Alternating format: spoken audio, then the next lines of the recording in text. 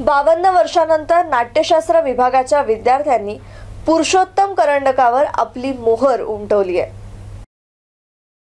महाराष्ट्र कलोपासक या पुण्याच्या अग्रगण्य नाट्य संस्था म्हणून परिचित आहेत ज्याद्वारे पुरुषोत्तम करंडक नावाच्या एकांकिका स्पर्धाचं आयोजन एकोणीसशे छत्तीसपासून केलं जातं.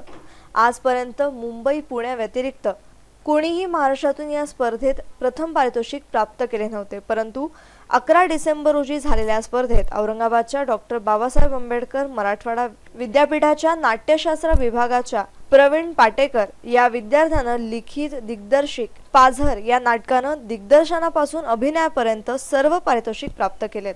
भरतनाट्य मंदिर सदाशिवपेठ पुणे येथे पार पडलेल्या कार्यक्रमात एबीपी माझाचे मुख्य संपादक राजीव खांडेकर आणि आदेश बांदेकर यांच्या हस्ते पार पडलेल्या कार्यक्रमात हे बक्षीस देण्यात आलं. याविषयी नाट्यशास्त्र विभागाचे प्राध्यापक जयंत शेवतेकर व दिग्दर्शक प्रवीण पाटेकर यांनी आपल्या प्रतिक्रिया व्यक्त केल्यात.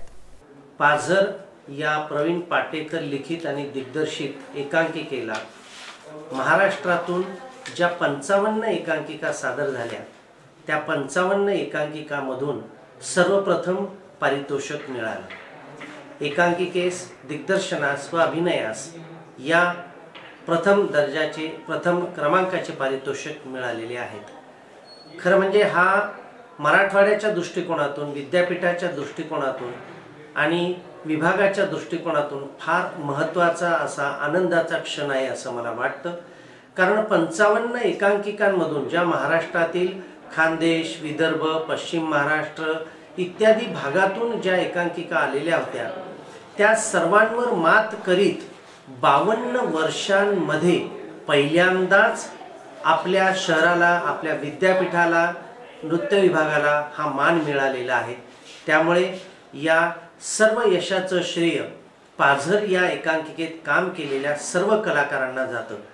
मूळ आपला जो मातीतला प्रश्न आहे हा मातीतला प्रश्न पाटेकर यांनी आपल्या एकांकिकेच्या माध्यमातून मांडला आणि दिग्दर्शित केला. आणि याची जाण ही सर्व महाराष्ट्राला या स्पर्धेच्या माध्यमातून लक्षात आली. परीक्षकांनी त्याचं कौतुक केलं.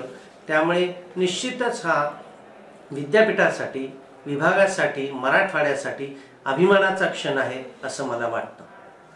मी पाझरे एकांकिक एकांकिका लेखक आणि दिग्दर्शक आहे.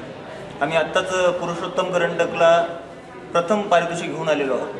म्हणजे आत्तापर्यंत हा त्रेपन्न वर्षाचा इतिहास होता. आत्तापर्यंत आपल्या औरंगाबादला कधीच पुरुषोत्तम करंडक आलेलं नव्हतं. आज पहिल्यांदा आलं. याचं कारण म्हणजे ही जी कथा आहे म्हणजे आम्ही जो विचार यामधून दिला आहे जो ग्रामीण भाग आहे म्हणजे आपल्या मराठवाड्यात जी काही दुष्काळग्रस्त परिस्थिती आहे त्यावर थोडं भाष्य केलेलं आहे. आणि सर्व ग्रामीण भागातली मुलं आहेत त्यामुळं तो विषय त्यांच्यासाठी तरी नवीनच होता.